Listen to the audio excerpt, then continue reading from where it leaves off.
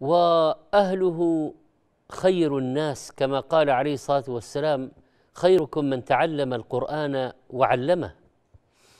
إن لله أهلين من الناس. قالوا يا رسول الله من هم؟ قال هم أهل القرآن أهل الله وخاصته. أهل القرآن من هم أهل القرآن؟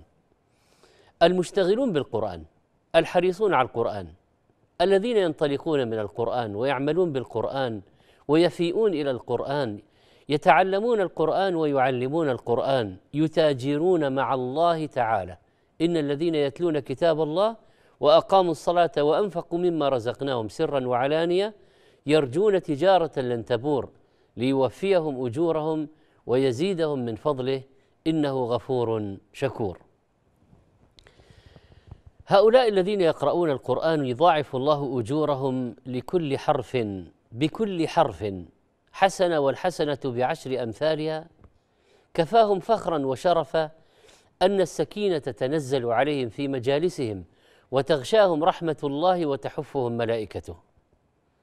إنهم يجتمعون في بيوت الله يتلون كتاب الله ويتدارسونه بينهم يذكرهم ربهم عنده.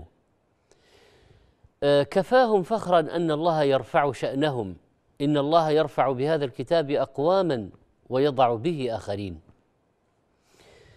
ويكفي حافظ القرآن فخرا وشرفا أنه سيدعى يوم القيامة ويقال له اقرأ وارتقي. اذا إلى العلا ورتل كما كنت ترتل في الدنيا. هذا العمل الذي يعمله في الدنيا الآن سيقوم به يوم القيامة. والمنزله سترتفع بحسب حفظه وتلاوته لهذا الكتاب.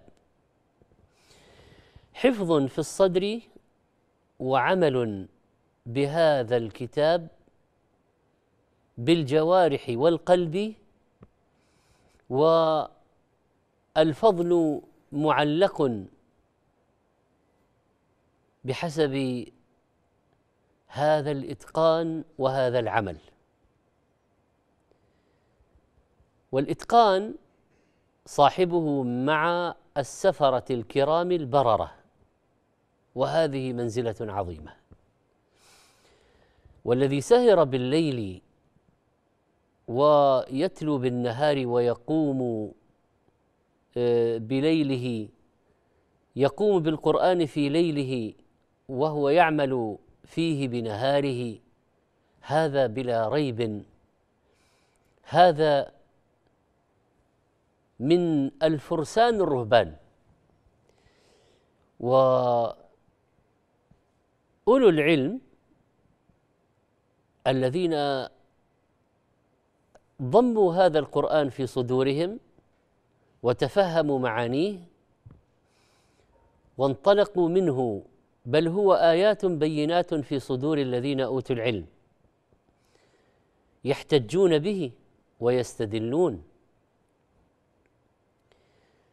ويحكمونه وبينهم هو الحكم. وعندما يأتي صاحب القرآن يوم القيامة وعلى رأسه تاج الوقار يكسى والداه الحلتان العظيمتان. بتعليم ولدهما للقرآن إنه الشرف العظيم.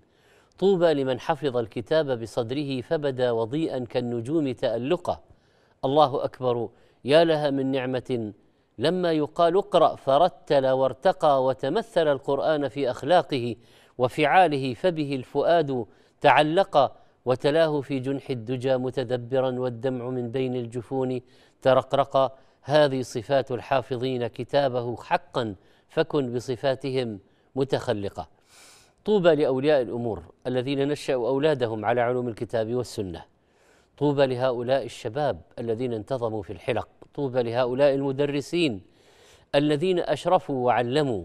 طوبى لهؤلاء الإداريين والمشرفين الذين يتابعون مسيرة هذا العمل العظيم. أفضال ومناقب وجدير أن تزف هذه الأنوار لأصحابها.